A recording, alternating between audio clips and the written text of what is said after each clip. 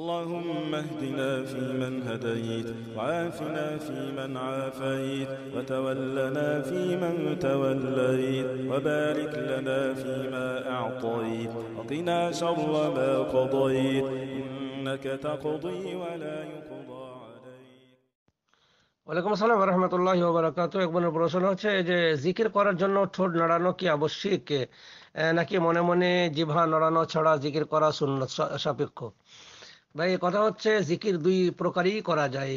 অন্তর দিয়ে জিকির করা যায় এবং ঠোঁট নাড়িয়েও জিকির করা যায়। যে, তবে থাকল কথা থাকল কথা যে কোনটা বেশি উত্তম? মনে মনে জিকির করা নাকি না ঠোঁট নাড়িয়ে জিকির করা উত্তম?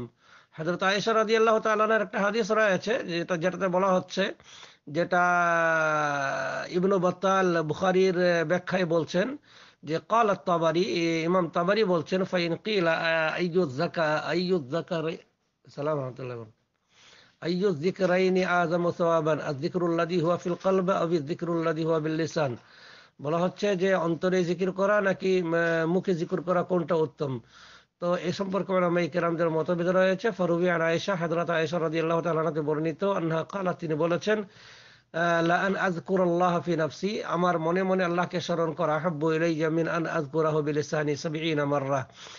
আমার আল্লাহকে মনে মনে স্মরণ করা আমার কাছে বেশি প্রিয়, সত্তর বারের থেকেও বেশি মুখে স্মরণ করার থেকে। তার মানে মুখে ঠোঁট নাড়িয়ে স্মরণ করার থেকে মনে মনে স্মরণ করা আমার কাছে বেশি প্রিয়।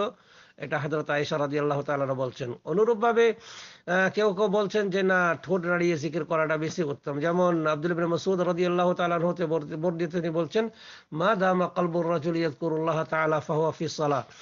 যখন মানুষ আল্লাহকে স্মরণ করে বা মানুষের অন্তর যখন আল্লাহকে স্মরণ করে, তখন সে যেন সলাতের ভিতরে থাকে। ওয়া ইন কানা ফি যদিও সে বাজারে রয়েছে, ওয়া ইন তাহাররাকা বিযালিকা লিসান ওয়া শাফাতান, আর যদি সে ঠোঁট নাড়িয়ে, মুখ নাড়িয়ে যদি এই জিকির করে, তাহলে ফাহু আজম তাহলে এটা হচ্ছে বেশি উত্তম, বেশি ভালো। এখান থেকে বুঝতে পারা যাচ্ছে দুইটি জায়েজ কখনো আপনি অন্তর দিয়ে করুন, কখনো কখনো ঠোঁট নাড়িয়ে করুন। তবে যদি ঠোঁট নাড়িয়ে জিকির করাতে যদি আপনার রিয়ার সমস্যা থাকে, লোক দেখানির যদি একটা সমস্যা থাকে যে লোকে দেখবে, লোকে এরকম, তাহলে কিন্তু তখন মনে মনে জিকির করাটাই হচ্ছে বেশি উত্তম।